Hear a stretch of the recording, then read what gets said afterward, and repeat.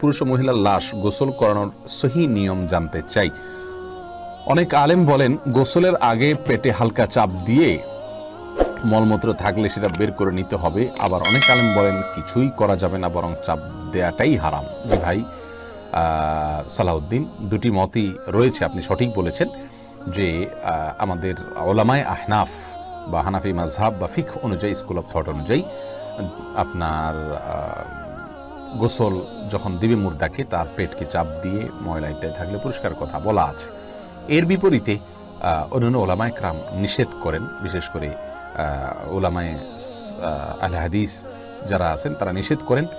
এবং এই নিষেধাজ্ঞার ক্ষেত্রে একটা যুক্তি এটাও যে মুর্দাকে চাপ দিলে বা প্রেশার দিলে তার শরীরে তার কষ্ট হবে। নবী সাল্লাহ সাল্লামের এক হাদিস থেকে বোঝা যায় মানুষ যখন মারা যায়, তখন তার শরীরে সামান্য আঘাত করলেও তিনি কিন্তু ব্যথা অনুভব করেন। এই সমস্ত কারণে এবং আরও কিছু কারণে এটা নিষেধ করা হয়ে থাকে। আর যারা চাপ দিতে বলেন, ওনাদের যুক্তি হলো, যদি চাপ দিয়ে ময়লা পরিষ্কার না করা হয়, তাহলে সেক্ষেত্রে জানাজাতে যখন নেওয়া হবে তখন বা আগে পরে কোনোভাবে কাফন নাপাক হতে পারে। যেটা কাম্য হতে পারে না। এই কারণে বলা হয়ে থাকে, বিষয়টি মত পার্থক্যপূর্ণ এটা ইস্তেহাদি বিষয়। কোনো একটাকেই আমরা সঠিক আর একটাকে সরাসরি ভুল এভাবে বলব না, তবে হ্যাঁ দলের দিক থেকে যার কাছে বেশি যেটা সমৃদ্ধ মনে হবে সেটা আমরা করতে পারি।